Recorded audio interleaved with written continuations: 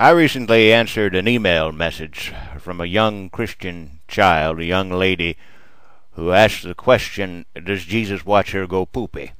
She wrote to me, she said, Dear Pastor, my mamma tells me I'd better behave myself on account of Jesus is always watching. She says he sees everything that I'm doing. Does that mean that Jesus is even staring at me every time I pull down my pants to go poopy? Yours in Christ, Sue Ellen. Well, I wrote Sue Ellen back and I said, Yes, child, your mother's right. Jesus does see all. But unlike a peeping Tom who's only able to catch a glimpse of you on the toilet through the window, the good Lord Jesus is all over your business, sniffing out every nook and cranny of your vile, sinful little body. Praise his holy name. You see, Jesus knows that toilet time is also a dangerous time for young ladies like yourself, filled with horrid temptations of the flesh. After all, along with shower time, it's uh, one of the only occasions when true Christians have a legitimate reason to be briefly touching their filthy sex parts.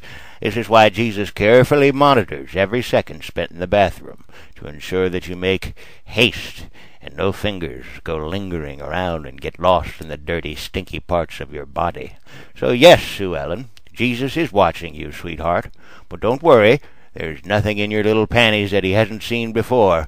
Indeed, it was Jesus and his daddy who intelligently designed every contour and crevice of your little hoochie and poop shoot, which he carefully sculpted in celestial wax before miniaturizing and beaming you inside the incubation chamber you might know better as Mommy.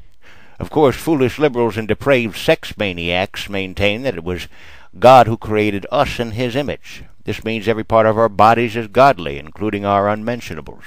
This is utter nonsense, of course, for just like liquor, drugs, and gambling, and all the books, music, and movies that are actually entertaining, your disgusting parts were created by God to test you, child, which is why you would do well to always express a requisite degree of intense revulsion at the very sight of your own nakedness.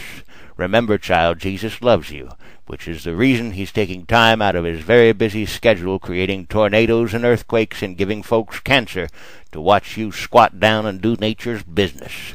If you doubt me, just take our Bible poop quiz online to see how obsessed the Lord is with excrement.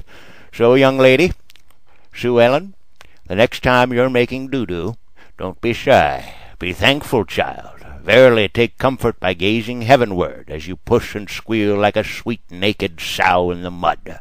Then at the very moment you hear an audible plop in the water beneath your soft naked rump, you can give the Lord Jesus a little wave hello. God bless you.